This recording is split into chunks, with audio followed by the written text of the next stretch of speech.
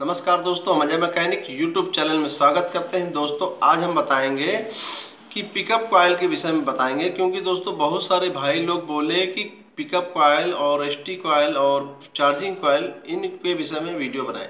तो दोस्तों, हमारे पास जो भी अनुभव है हमारा, वो हम आपको बताते हैं। ठीक है दोस्तों?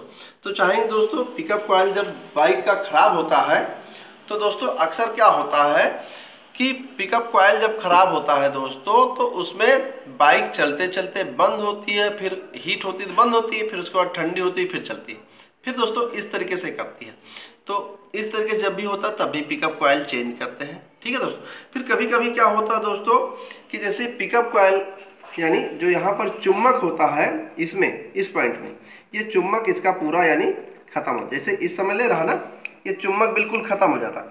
जब चुम्बक दोस्तों ख़त्म हो जाता है तो जब दोस्तों चुम्बक ख़त्म हो जाएगा तो गाड़ी के ज़ोर से किक लगाएँगे, तभी स्टार्ट होगी, नहीं तो नहीं स्टार्ट होगी। और करंट जैसे लंबा लंबा दोस्तों देखिए, जब इतना लंबा करंट आता है तो दोस्तों उसका करंट आधा हो जाएगा और करंट जो आएगा लाल कलर का आएगा, ठीक? और जब ज़ोर से किक लगाएँगे, तभी स्टार्ट होगी, नहीं तो वो फिर स्टार्ट नहीं होगी और स्लो करेंगे तो जैसे स्लो करेंगे, तैसे बंद होगी। तब भी यानी पिकअप कॉयल चेंज करना चाहिए, ठीक है दोस्तों?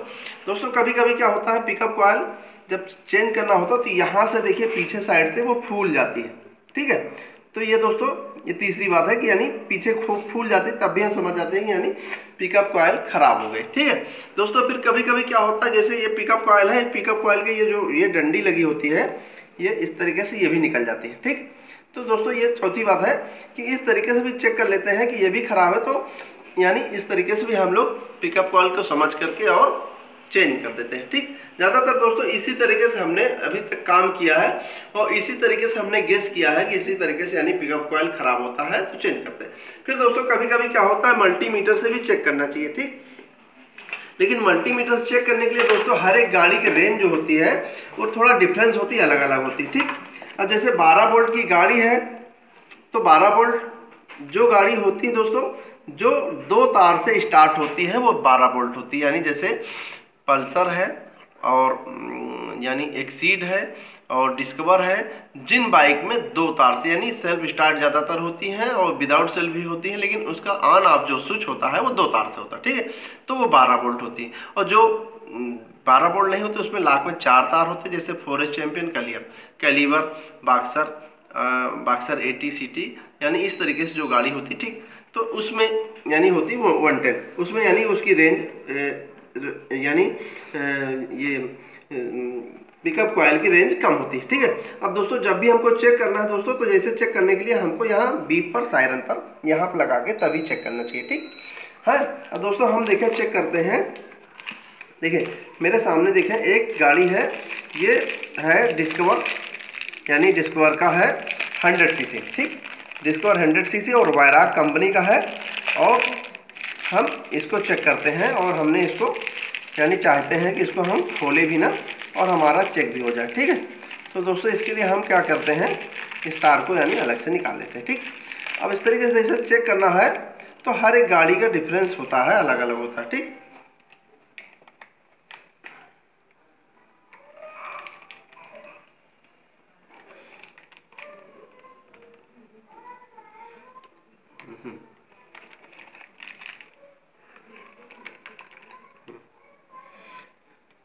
अब दोस्तों देखिए, इसका जो आ रहा है, यहाँ से हम हिला रहे थे तो दोस्तों, देखिए, जो इसका आ रहा है, वो रेंज आ रहा है 211 के आसपास, यानी 11 10 इसी के आसपास रहेगा, ठीक है दोस्तों? तो यानी 200 के ऊपर आएगा, इसी के आसपास रहेगा, ठीक है?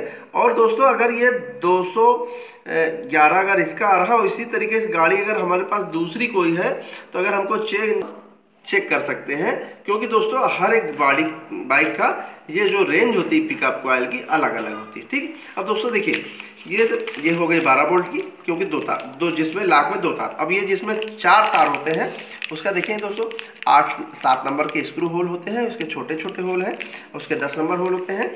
इसकी रेंज दोस्तों कम होती है, ठीक है? पर दोस्तों, देखिए अब इसका दोस्तों जो आ रहा है, वो आ रहा है एक सौ एक बयासी आ रहा, तिरासी आ रहा, इसी के आसपास आता है। तो दोस्तों, इसकी यानी रेंज कम रहती है, ठीक? अब फिर देखो देखो तो दोस्तों, ये एक पल्सर का है और ये भी वैराग कंपनी का है और ये पल्सर का जो है बता रहा, वो देखें कितना बताता ठीक है? देखें। ये भी 209 बता रहा ठीक? तो इसी तरीके से यानी जो 12 वोल्ट होती है, उनकी रेंज ज़्यादा होती है, पर दोस्तों, कुछ गाड़ी होती है, उनकी रेंज 300 तक होती है, किस, किसी गाड़ी की थोड़ा कम होती है, किसी की ज़्यादा होती है तो 100 परसेंट नहीं बता सकते कि यानी इसकी रेंज इतनी है, ठीक? अब मेरे सामने देखें, अब हम इसको, जैसे ये है तो ये खराब है तो इसको हमने ये चेक करते हैं तो ये कुछ भी नहीं बता रहा, यानी देखें ये इस तरीके से कुछ भी नहीं बता रहा है इस तरीके से तो ये इस तरीके से भी कभी कभी चेक कर लेना चाहिए, ठीक? और फिर दोस्तों देखें, ये एक सीट बाइक है मेरे पास, और इसकी हम रेंज बताते हैं। यहाँ पर देखिए हम इसका सर्किट यहाँ निकाल दिए हैं दोस्तों, और हम इसको बोलेंगे कि यहाँ पर आप दिखाइए, यहाँ पर मीटर के पास, ठीक? अब हम इसको थोड़ा सा देखें।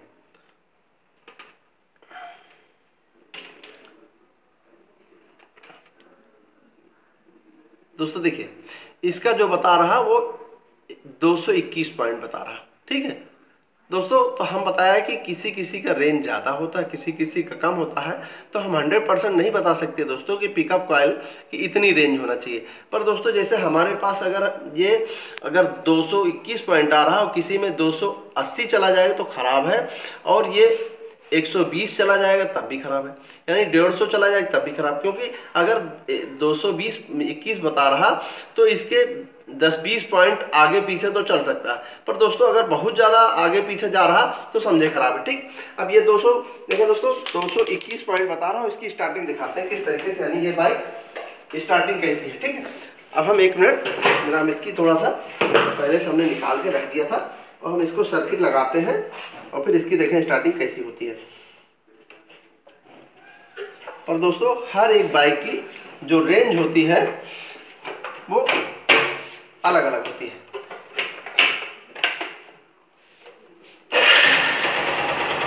देखें दोस्तों तो इस तरीके से यानी इन सब बाइक की, यानी जो पिकअप कॉयल होती है तो जैसे हमने बताया मैनुअल तरीका, उस तरीके से आप चेक कर सकते हैं और मल्टीमीटर से भी चेक कर सकते हैं। तो इस तरीके से, यानी दोस्तों, आप चेक कर सकते हैं। और जब भी आपको, यानी चेंज करना हो, ठीक है दोस्तों? चाहेंगे दोस्तों कि हमारा वीडियो आपको पसंद है उसको लाइक करें शेयर करें और कमेंट करें और चैनल ज़रूर सब्सक्राइब करें, जिससे जो टेक्निकल वीडियो डालें, आप तक पहले पहुँचे। नमस्कार दोस्तों।